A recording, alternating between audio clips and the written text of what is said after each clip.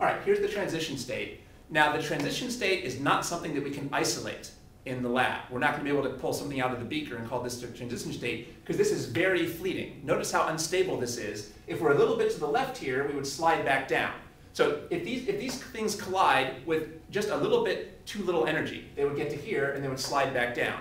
Or if they collide with just a little bit too much energy, they get to here and slide down this direction. So it's almost impossible that they would just be resting up here. So for all practical purposes, you can never isolate the transition state. It's just theoretical. It's something that um, chemists think about to understand how the reaction is happening.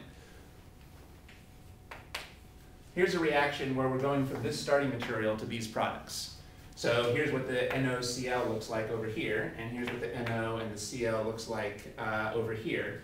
So what would the transition state look like? Well, notice that what's happening in this reaction is that the chlorine is breaking off from the NO.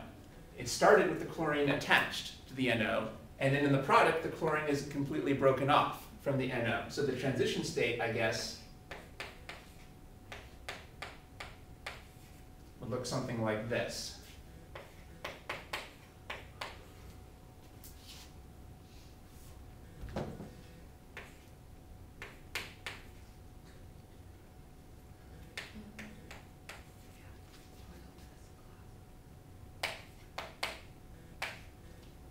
Sometimes you're asked to, uh, to write what the species look like at the different points. So here's how we would write that here. We could say we started with two of these NOCl molecules. So here's two of the NOCl molecules. And then we end up with two NO molecules and a chlorine molecule. So I wrote that over here, two NOs and a chlorine.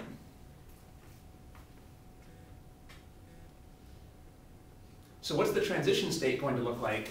Well, in the transition state, the chlorine is kind of halfway broken off from the nitrogen. It hasn't completely broken off or it would be a product. So notice how I drew this as a, as a dot and not as a dash to show that this bond has partially broken. The chlorine has partially broken off from the nitrogen, which takes energy. That's what the activation energy is doing, breaking that bond. And also, it's going to start forming a bond with this chlorine. So I should put dots down here as well to show that it's starting to form a bond with this other chlorine. That's why we're starting with two equivalents of NOCl, so that eventually the two chlorines can break off and match up with each other, which will eventually give us this, two NOs without chlorine and two chlorines attached to each other. So the dots here can be used conventionally to show bonds that are in the middle of breaking or bonds that are in the middle of forming. All right, so this is the point where we've just added barely enough energy to start really breaking these bonds and forming this bond. This is the point where we finish putting in energy, and now from now on, we're going to start getting energy out. If we get to this point, then reaction will keep going. So this is how we could draw this transition state. Now again, you could never isolate this in the lab. This is just a theoretical picture of what things look like in, in the very middle of the reaction. All we can isolate are the starting materials and the products. All right, but you might be asked to draw transition states. This is the way that would look.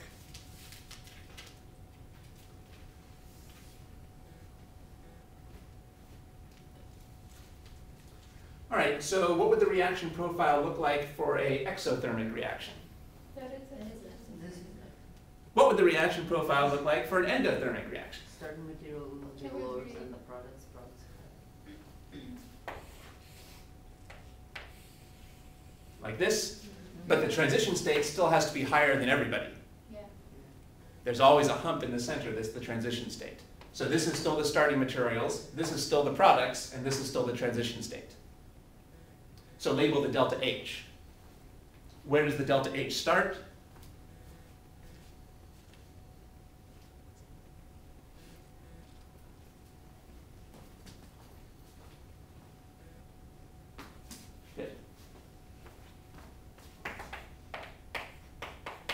So here would be the delta H.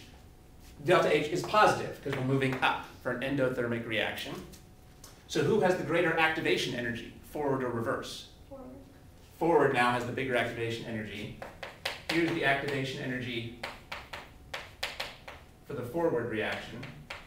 And here we have a small activation energy for the reverse reaction. So we would expect that here the equilibrium would favor the reverse reaction. Because it's easy for the products to get back into being the starting materials, but the starting materials are kind of stuck. It's hard to go over here. So this would be an equilibrium that would tend to favor the starting materials. Um, all right, so here's something important that we haven't talked about. So if we increase this hump, how would that be observed in the lab? When we increase the hump, how do we observe that? Yeah, it changes the rate. Um, let's go back and put that in over here.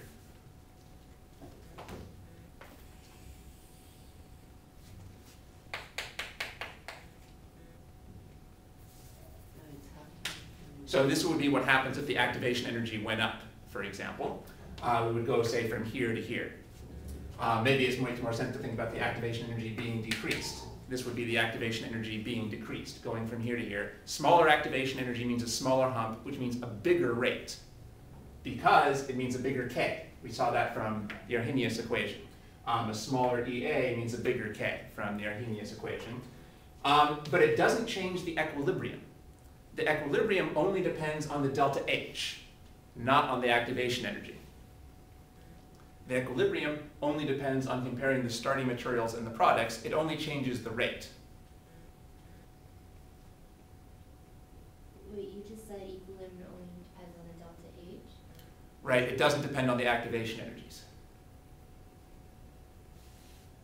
That's basically because when you decrease this activation energy, it has the same effect on the forward activation energy as on the reverse activation energy. So those cancel each other out, and there's no effect ultimately on the equilibrium.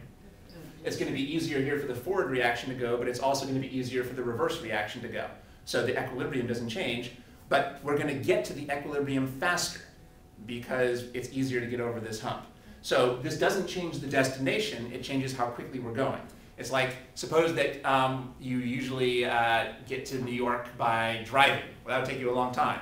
And then you decide to get to New York by flying. Well, that hasn't changed your destination, it just got you there faster.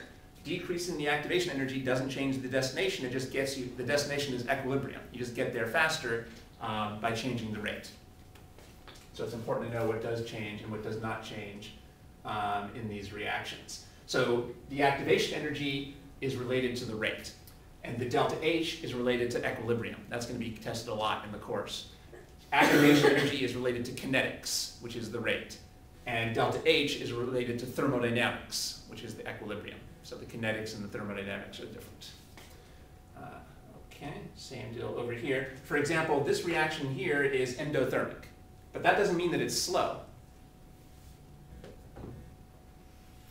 It could have a very small hump and you could get to equilibrium quite quickly. It's just that the equilibrium doesn't lie very far forward. So just because an a problem um, uh, has, uh, just because a reaction is very favorable doesn't mean it's very fast. And just because a reaction is unfavorable doesn't mean it's slow. Um, those are different things.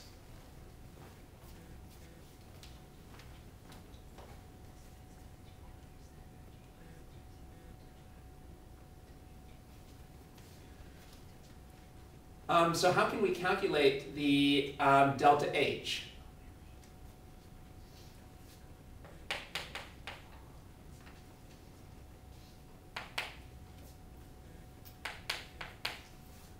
What would be the delta H for this reaction?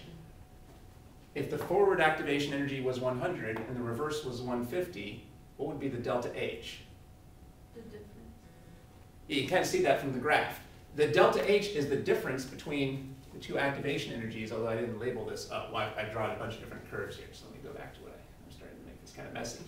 But um, if this activation energy is 100 and this is 150, um, well, this delta H you can see is the difference between this distance and this distance. This is something I think your instructor mentioned in class.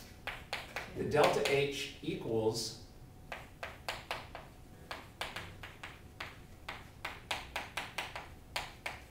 the difference between the two activation energies.